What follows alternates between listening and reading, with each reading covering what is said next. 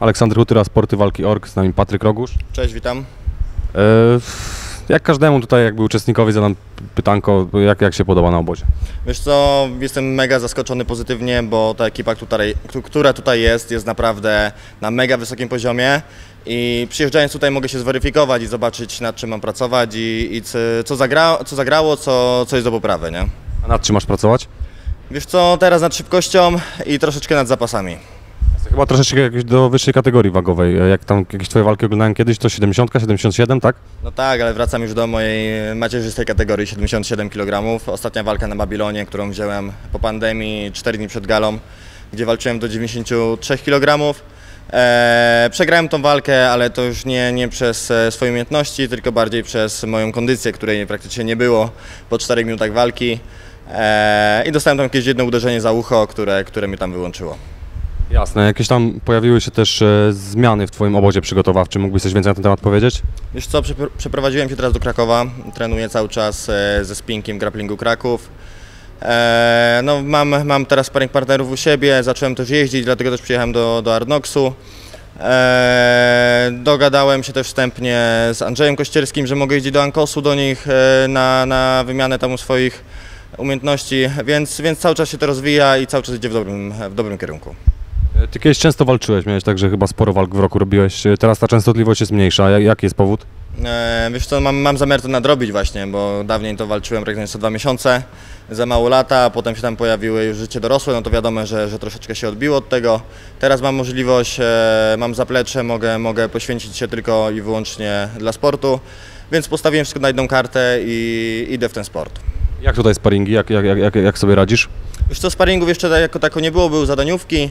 Myślę, że do, jak do tej pory, e, pomimo tego, że jest taki, taki skład mocny na tym Arnoxie, e, myślałem, że będzie gorzej, więc, więc jestem mile zaskoczony, że jednak jeszcze nie jest tak źle ze mną. A wiemy już, e, może możesz coś powiedzieć już na temat kolejnych startów? Wiesz co, głównie przyjechałem tutaj po to, żeby, żeby nawiązać kontakt z Arnoxem, z którym bardzo bym chciał współpracować. I myślę, że, że uda się to zrobić i jakoś będziemy sobie tam dalej e, pomagać. No, może jeszcze w tym roku coś, coś bym zawalczył.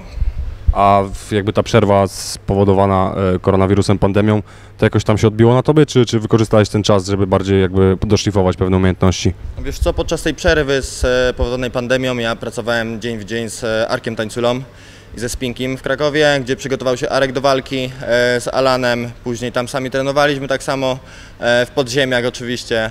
E, więc e, no myślę, że nawet zyskałem dzięki tej pandemii, bo miałem czas e, się skupić na technice, na takich rzeczach bardziej e, spokojnych niż e, robienie tam jakichś przygotowań do walki. Nie?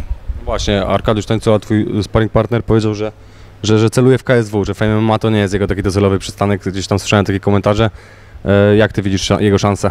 Powiem Ci tak, że Arek jest bardzo, bardzo pracowitym człowiekiem, pomimo tego, że jest w tym sporcie od roku. E, Jest w stanie już jakieś tam zadaniówki ze mną porobić, więc myślę, że to świadczy o nim bardzo dobrze, bo, bo jednak ten rok czasu to, to jest tak naprawdę żaden staż treningowy.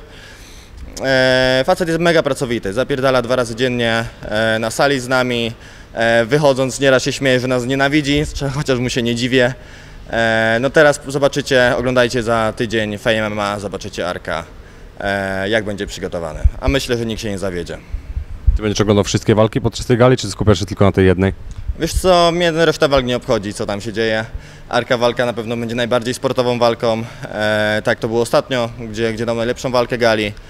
I tylko na tą walkę czekam. Reszta to jest, to już nie moja bajka. A Jakieś rozmowy już trwają co do twojej walki, mm, bo powiedziałeś, że pod koniec roku chciałbyś, tak? A, ale już coś, coś się dzieje w tym kierunku? Wiesz co, ja chcę zrobić najpierw bardzo dobrą formę i potem mogę wziąć walkę nawet dwa tygodnie przed galą, bo sam wiesz jaka jest sytuacja i te gale mogą wypaść z dnia na dzień, więc wolę się nie nastawiać na jedną, e, jedną galę, gdzie się przygotuję, zainwestuję pieniądze i potem wypadnie ta gala e, tydzień przed, bo znowu jakieś dziwne obostrzenia nam wymyślą, więc nie ma sensu jakichś dłu- dłuższych planów snuć, coś się trafi, będę w formie, będzie, będzie się wszystko zgadzało, więc, więc wyjdę, nie? Jasne, no to życzmy sobie wszyscy, żeby, żeby już tych dziwnych obostrzeń, o których mówisz, nie było i, i, i, i tobie, żebyś e, zawalczył. Dziękuję bardzo. Dzięki.